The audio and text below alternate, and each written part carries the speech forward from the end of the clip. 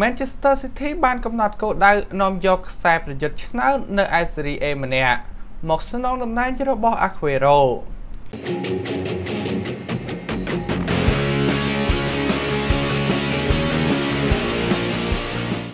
Manchester City បានកំណត់គោលដៅនៅក្នុងការនាំយកខ្សែប្រយុទ្ធកលាករ Martin សម្រាប់ជំនួសតំណែង Sergio Aguero សម្រាប់ការដោះដូរនារដូវក្តៅនេះ បើយោងទៅតាមការចុះផ្សាយរបស់ Sky Sport កន្លងទៅបានឲ្យដឹងថាខ្សែប្រយុទ្ធអាសង់ទីនរូបនេះគឺជាកីឡាករគោលដៅដ៏យូរអង្វែងរបស់ក្លឹប FC Barcelona ប៉ុន្តែក្លឹបអង់គ្លេស Manchester City ក៏ចង់បានកីឡាករវ័យ22ឆ្នាំរូបនេះផងដែរបន្ទាប់ពីដឹងថារូបគេបានបដិសេធនៅក្នុងការបន្តកងត្រាជាមួយនឹងក្រុម Inter Milano កីឡាករ Martin គឺជាកីឡាករដែលចាំបាច់ដែលក្លឹប Manchester City ចង់បានដើម្បីស្នងតំណែងរបស់រៀមច្បងរបស់គេគឺ Aguero ដែលលេងជាមួយគ្នានៅក្នុងជម្រើសជាតិអាសង់ទីនហើយពួកគេនាំមុខ Barcelona ដោយហ៊ានចំណាយ98.5លានផោនដើម្បីផ្ដាច់កងត្រាខ្សែប្រយុទ្ធទ្រូបនេះពីក្លឹបអ៊ីតាលីគូបញ្ជាក់ផងដែរថាកីឡាករ Martin រកបាន19គ្រាប់ សម្រាប់ការបង្ហាញខ្លួននៅលើទីលាន39ប្រកួតសម្រាប់ក្រុមដែលដឹកនាំដោយលោកកង់តេក្នុងរដូវកាលនេះ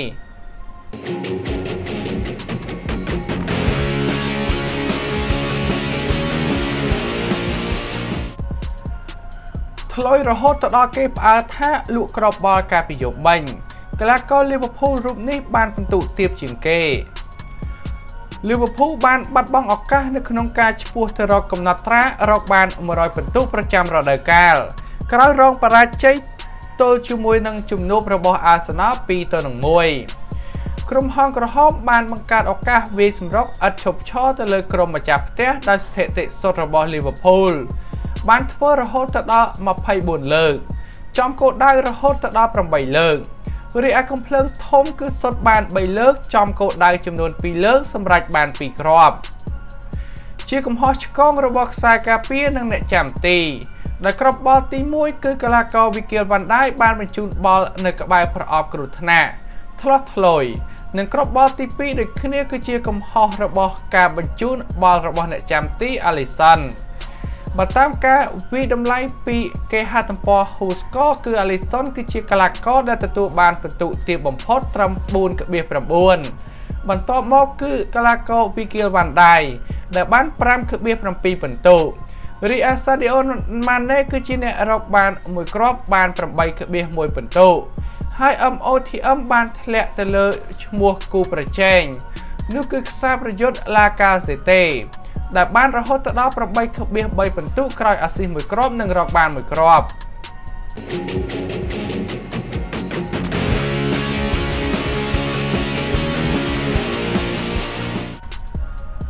នៅក្នុងនាមជាមិត្តជិតស្និទ្ធជាមួយនឹងលីណាមីស៊ីបង្អ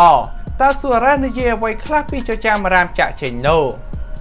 កីឡាករលូអ៊ីសស៊ូរ៉េសដែលត្រូវបានគេស្គាល់ថាជាមិត្តជិតស្និទ្ធបំផុតរបស់លីណាមីស៊ីនៅឯក្លឹបបាសេឡូណា ថ្មីថ្មីនេះក៏បានបង្ហាញការយល់ឃើញខ្លះខ្លះអំពីអនាគតមិនប្រកបប្រជារបស់ M10 ក្រោយលះលៀងថានឹងអាចចាក់ចេញពីទឹកដីខាំនូនៅក្នុងឆ្នាំ2021នោះបរិវ័យ33ឆ្នាំដែលសេសសល់កុងត្រាត្រឹមតែមួយឆ្នាំទៀតតែប៉ុណ្ណោះជាមួយនឹងការកើបថ្លៃពលកម្មកន្លះលានផោនក្នុងមួយសប្តាហ៍របស់គេនៅឯខាំនូក៏លេចទៅមើលស៊ូរ៉េសវិញក៏បាននិយាយថា អ្វីដែលគាត់ចង់បាននោះគឺផែនការឈ្នះប៉ុន្តែស្ថានភាពបច្ចុប្បន្នគឺគាត់គឺត្រូវជជែកជាមួយនឹងគ្រួសារជាមួយនឹងឪពុករបស់គាត់ បន្ថែមទៀតអំពីការសម្រេចចិត្តនេះប៉ុន្តែសម្រាប់ខ្ញុំមិនមើលឃើញថាលីណាមេស៊ីនឹងទៅលេងឲ្យក្លឹបដទៃឡើយលោកបានសង្កត់ធ្ងន់ថាយ៉ាងណាមិញការសម្រេចចិត្តរបស់គាត់គឺផ្អែកទៅលើអ្វីដែលល្អបំផុតសម្រាប់គាត់និងគ្រួសារ ហើយនាមជាមិត្តភ័ក្តិរបស់គាត់ខ្ញុំតែងតែពេញចិត្តនៅកន្លែងដែលគាត់ជ្រើសរើសហើយមានអារម្មណ៍ថាសុខស្រួលនិងរីករាយជាមួយនឹងអាជីពរបស់គាត់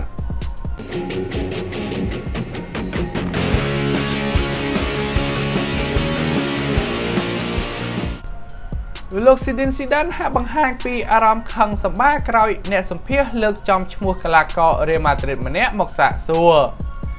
អ្នកចាត់ការទូតរបស់ក្រុមរៀលម៉ាឌ្រីតលោកស៊ីឌីនស៊ីដានហាក់មិនសប្បាយចិត្តនោះទេនៅពេលដែលអ្នកសារព័ត៌មានម្នាក់បានសាកសួរអំពីទំនាក់ទំនងរបស់គាត់ជាមួយនឹងខ្សែប្រយុទ្ធ Gareth Bale ដោយគ្រូបង្វឹកសញ្ជាតិបារាំងរូបនេះបានឆ្លើយតបថាប្រព័ន្ធផ្សព្វផ្សាយកំពុងតែបំបែកបំបាក់សពន្ធភាពនៅក្នុងក្រុមរបស់គាត់គួរបញ្ជាក់ផងដែរ Gareth Bale បានស៊ូទ្រាំទៅនឹងភាពលំបាកជាច្រើនចាប់តាំងពីការប្រកួតនៅក្នុងលីកដំណើរការឡើងវិញ ដោយបង្ហាញខ្លួនត្រឹមបានតែ2លើកតែប៉ុណ្ណោះនៅក្នុងក្របខ័ណ្ឌ La Liga ក្នុងចំណោម8ប្រកួតហើយក៏មានចចាមអារាមមួយចំនួនបានលើកឡើងថាលោកគ្រូបងលោកគ្រូបង្វឹកស៊ីឌីនស៊ីដានក៏កំពុងតែស្វែងរកលទ្ធភាពដើម្បីលក់រូបគេចេញពីក្រុមផងដែរនារដូវក្តៅខាងមុខនេះមិនតែប៉ុណ្ណោះខ្សែប្រយុទ្ធសញ្ជាតិ Northwest សញ្ជាតិ Wales រូបនេះ ក៏ត្រូវបានគេរិះគន់ផងដែរចំពោះអេរយាប័តមិនសមរម្យរបស់គេ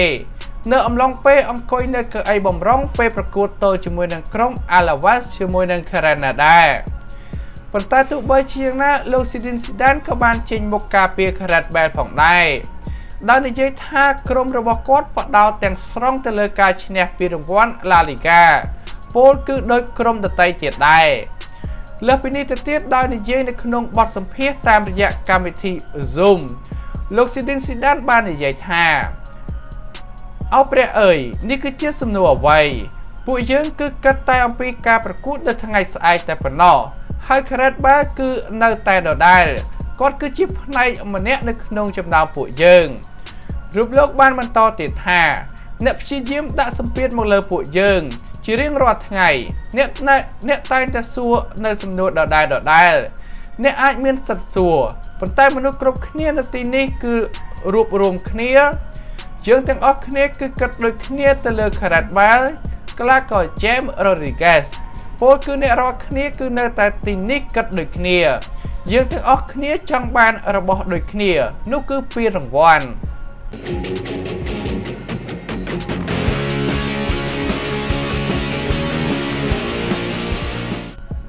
គ្រូធំនៅ Premier League ម្នាក់បានទម្លាយថាក្លឹបរបស់គាត់បានធ្លាប់ព្យាយាមខ្លាំងដើម្បីចោះហាត់តលេខាទៅលើ Greenwood នារដូវក្តៅមុនលោកគ្រូបង្វឹក Roy Hodgson បានបង្ហើបឲ្យដឹងថាក្លឹប Crystal Palace បានព្យាយាមចងចោះហត្ថលេខាទៅលើកីឡាករ Mason Greenwood កាលពីរដូវក្តៅមុន មិនតែប៉ុណ្ណោះលោកបានបញ្ជាក់ទៀតថាក្រុមរបស់គាត់មានចំណាប់អារម្មណ៍ចង់បាន Greenwood សម្រាប់កិច្ចសន្យាខ្ចីជើងរយៈពេលមួយរដូវកាលប៉ុន្តែក្លឹបបិសាចក្រហមហាក់មិនពេញចិត្តចំពោះសំណើរយៈពេលខ្លីនេះនោះទេ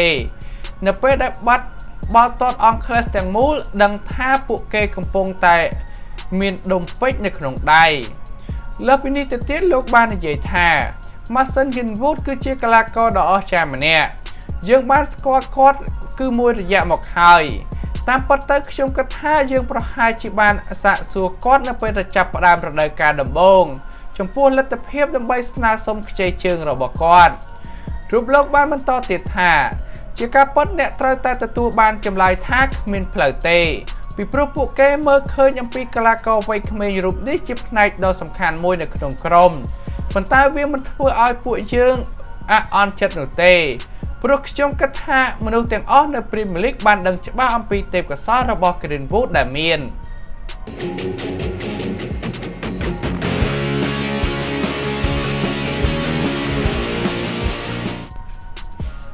លោកស៊ីឌីនស៊ីដានបានបង្ហើបប្រាប់ពីនរណាខ្លះដែលស័ក្តិសមជាម្ចាស់ពានរង្វាន់ Ballon d'Or នៅឆ្នាំនេះ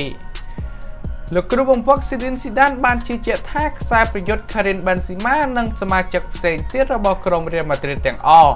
ស័ក្តិសមនឹងទទួលបានពានរង្វាន់ Ballon d'Or នៅឆ្នាំនេះគូបញ្ជាក់ផងដែរថា Benzema បានដើរតួនាទីយ៉ាងសំខាន់បំផុតមួយនៅក្នុងក្រុមរបស់លោក Zidane Zidane ដែលអាចបំពងសំណាញ់ទីបាន19គ្រាប់នៅក្នុងការបង្ហាញខ្លួនបាន35លើកនៅក្របខ័ណ្ឌ La Liga នារដូវកាលនេះ ហើយសម្រាប់លទ្ធផលដ៏គប្បប្រសើរនេះក៏អាចធ្វើឲ្យក្រុម Real Madrid កំពុងតែខិតជិតក្នុងការឈ្នះពានរង្វាន់ League ជាលើកដំបូងផងដែរចាប់តាំងពីឆ្នាំ2017មកប្រសិនណាបើពួកគេអាចទទួលបានជ័យជំនះទៅលើក្រុម Villarreal នារាត្រីថ្ងៃប្រហ័សនេះឬក៏ក្រុមបាសេឡូណាមិនអាចផ្ដួលក្រុមអូសាសេណាបានហហើយយ៉ាងណាមិញបេនស៊ីម៉ាគឺត្រូវបានគេយកឃើញថាគួរតែនាំមុខគេសម្រាប់បេក្ខភាព ដែលមានភាគរយខ្ពស់ដើម្បីឈ្នះពានរង្វាន់ Ballon d'Or នៅឆ្នាំនេះបន្ទាប់ពីការខិតខំប្រឹងប្រែងដ៏គួរឲ្យកត់សម្គាល់នៅលីកកំពូលរបស់អេស្ប៉ាញខណៈដែលលោកស៊ីឌីនស៊ីដានជឿជាក់ថាខ្សែប្រយុទ្ធសញ្ជាតិបារាំងរូបនេះគឺជាម្នាក់នៅក្នុងចំណោមកូនក្រុមរបស់គាត់ជាច្រើនទៀតដែលស័ក្តិសមទទួលបានពានរង្វាន់ដ៏មានកិត្តិយសនេះមិនតែប៉ុណ្ណោះលោកបាននិយាយថា នៅក្នុងបទតនអ្នករាល់គ្នាគឺអាចនិយាយអ្វីក៏បាន សម្រាប់ខ្ញុំកីឡាកររបស់ខ្ញុំគឺល្អបំផុតគ្រេមបេស៊ីម៉ាមិនត្រឹមតែឆ្នាំនេះនោះទេគាត់ធ្វើបានល្អអស់រយៈពេលជាច្រើនឆ្នាំមកហើយប៉ុន្តែពានរង្វាន់បលិនដអាចឈ្នះបានតែម្នាក់គត់ហើយអ្នករាល់គ្នាគឺអាចផ្ដល់យោបល់អំពីនរណាម្នាក់ក៏បានប៉ុន្តែសម្រាប់ខ្ញុំកីឡាកររបស់ខ្ញុំទាំងអស់គឺស័ក្តិសមនឹងទទួលបានវា